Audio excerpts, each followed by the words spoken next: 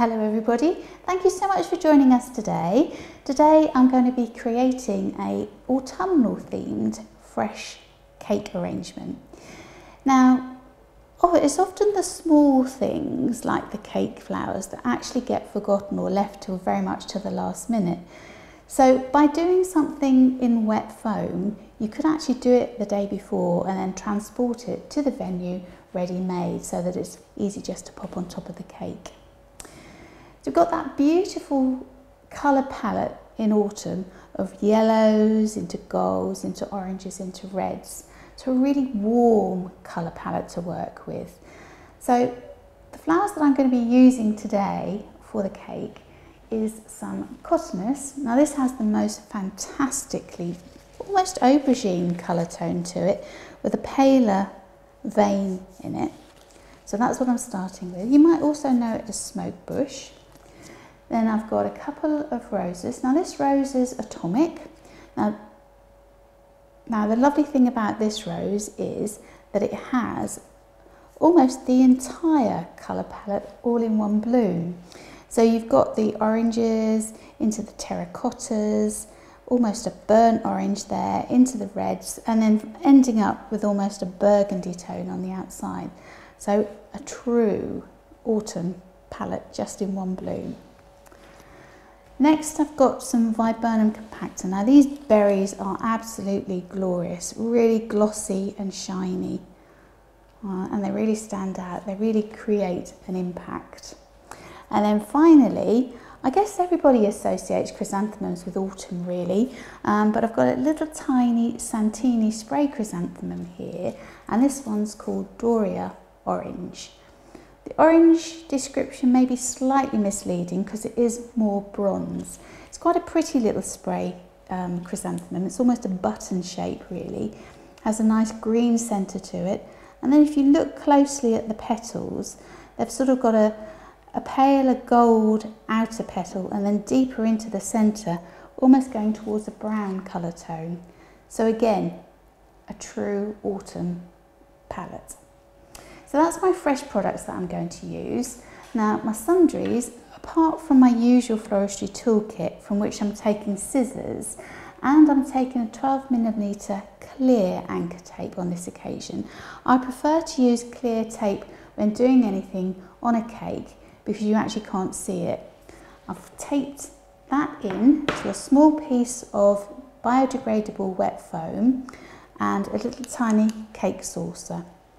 What I've done is folded the centre of the tape over so it takes less surface area up from the wet foam and then bound it round twice so it secures quite happily on the base of the dish. I'm going to use my trusty wooden slice here just as a replica of the cake. so enjoy!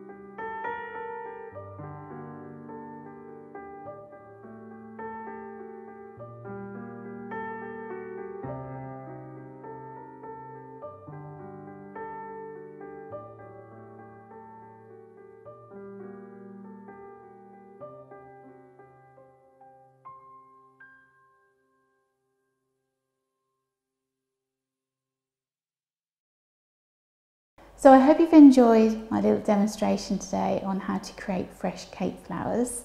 Hopefully it'll inspire you to have a go at something like this yourselves, not necessarily just for a wedding cake, um, birthdays, anniversaries, any event really.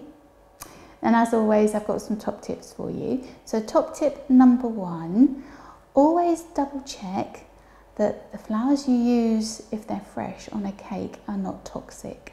So always seek advice.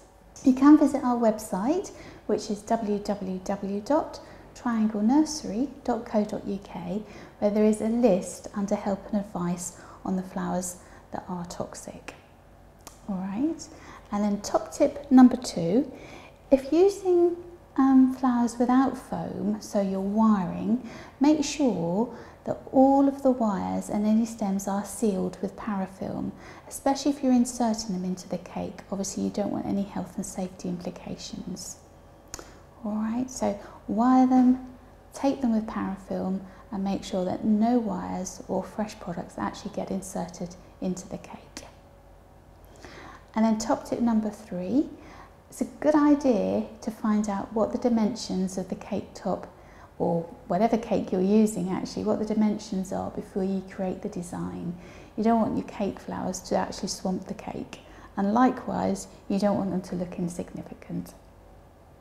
All right, so thank you so much for watching us today. Don't forget to like us, share us, and also don't forget to go over to our YouTube channel where you can subscribe, get lots more tips, hints, and inspirational ideas on flowers that you can create for yourself. And also don't forget to comment in the box below because we'd love to hear what you think about our designs. So thanks for joining us and we'll see you very soon. Bye for now.